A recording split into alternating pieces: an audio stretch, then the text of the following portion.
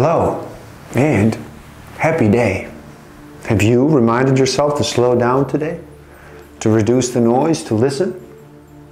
My name is Igor SF Walker and I am here to remind people to slow down, to reduce the noise, to walk their lives into a natural flow. Welcome back to the Book of the Week series. Every week as I read another amazing title, I share it with the world.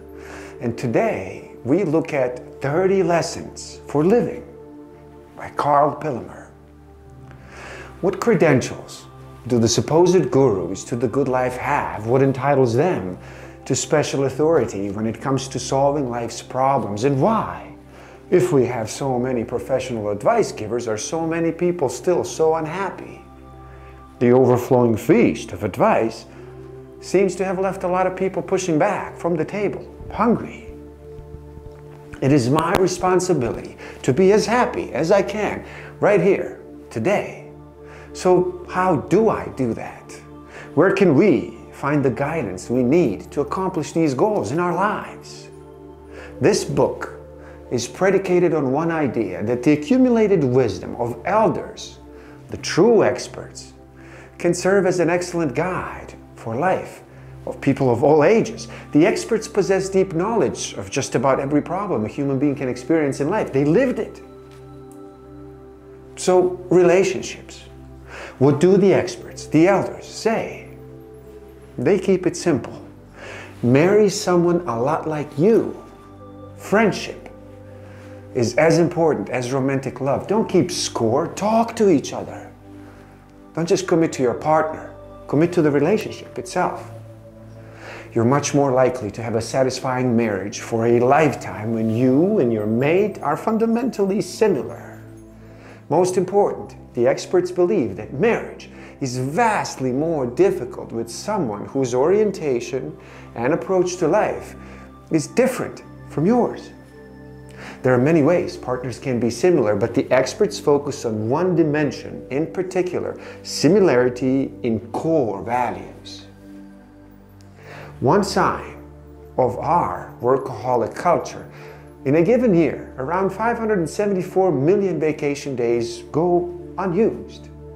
That equals to 5,500 working lifetimes in a single year. Each year, the average worker spends over 1,800 hours on the job and sometimes longer working extra shifts or at a second job to make ends meet. Lesson here? Choose a career for the intrinsic rewards, not the financial ones. The view from the end of lifespan is straightforward. Time well and enjoyably spent trumps money anytime.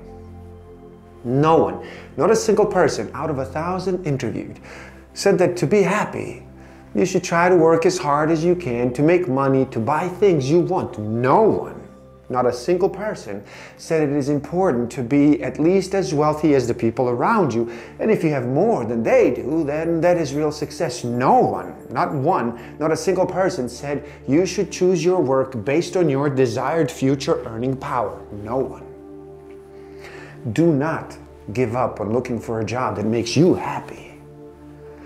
Make the most out of a bad job. Emotional intelligence trumps every other kind, and everyone needs autonomy. Now, what do the experts say about children? You guessed it, they keep it simple. It is all about time. It is normal to have favorites, but never show it. Do not hit your kids. Avoid a rift at all costs and take a lifelong view of a relationship with children. Happiness does not depend on how much we have, but it is based on personal success of skills and artistry, a sense of humor, the acquisition of knowledge, the refinement of character, the expression of gratitude, the satisfaction of helping others, the pleasure of friends, the comfort of family, and the joy of love. Being old is much better than you think. Act now like you will need your body for a hundred years. And don't worry about dying. The experts don't.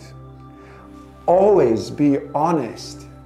Say yes to opportunities. Travel more. Time spent worrying is time wasted. Stop. Have faith. You are not responsible for all the things that happen to you, but you are completely in control of your attitude and your reactions to them. If you feel annoyance, fear, or disappointments, these feelings are caused by you and must be dug out like weed. Study where they come from, accept them, and then let them go. If you let outside pressures determine how you feel and what you do, you have just abdicated your job as CEO of your own life. If you have enjoyed this video, please do like it, share it with the world, subscribe to my channel, and you can find a direct link to this book in the description below. So get it and read. Thank you. Love and respect.